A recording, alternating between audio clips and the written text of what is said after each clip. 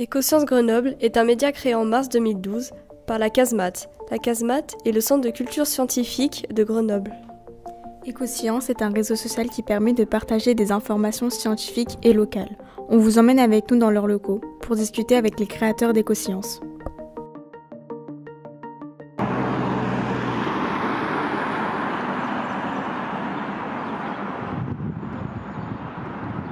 La littérature, sur la politique, sur l'économie, sur euh, l'histoire.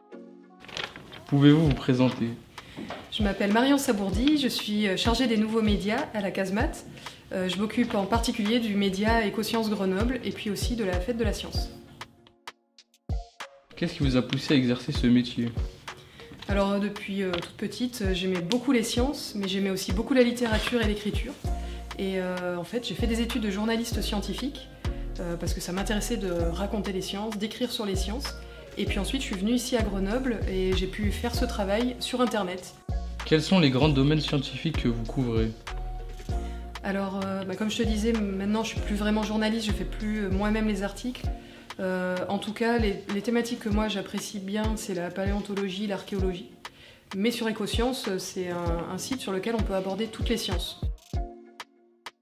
sont les différentes activités en tant que responsable éditorial d'Écosciences Grenoble euh, bah, Ma fonction principale, c'est de faire en sorte que le site internet fonctionne bien et qu'il y ait des contenus dessus.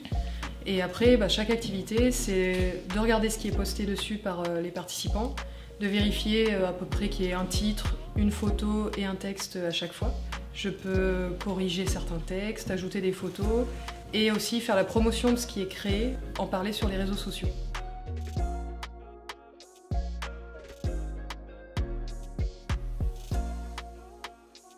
Bonjour, tout d'abord, pouvez-vous vous présenter? Bonjour, je m'appelle Pascal Moutet, je suis chef de projet à la CASMAT.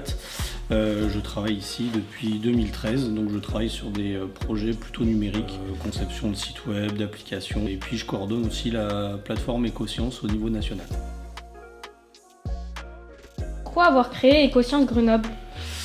Euh, alors c'était une demande déjà de ma direction à l'époque et il manquait un outil sur le territoire pour, euh, pour animer en fait le territoire avec un outil numérique qui serve à toutes les associations euh, qui parlent de culture scientifique. Donc on s'est dit que ce serait bien de créer un média social.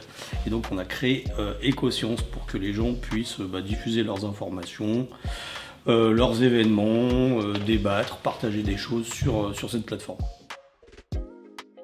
Combien de temps a pris Écoscience à être créé euh, Ça a pris un peu de temps, euh, donc aux alentours 2012-2013, puisque euh, une des premières phases, ça a été d'interroger justement les professionnels de la médiation, les amateurs de sciences sur le territoire, pour savoir ce qu'ils attendaient en fait d'un site internet et de faire en sorte de prendre en compte leurs attentes pour les traduire sous la forme d'un site internet. Donc c'est peut-être une phase de conception qui a peut-être pris une année, une bonne année.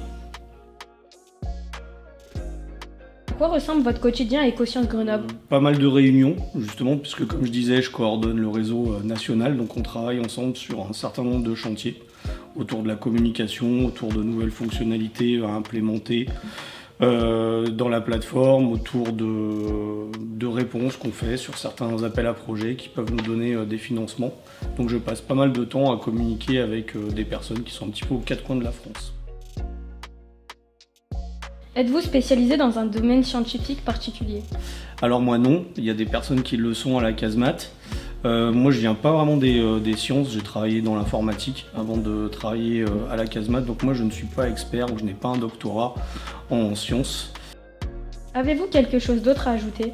Alors oui, je suis ravi de participer à votre projet. je vous encourage à être curieux de sciences, à lire des choses sur les sciences et puis à vérifier aussi que ce que vous lisez euh, est vrai, quoi. Donc euh, à faire preuve d'esprit critique au maximum. Merci.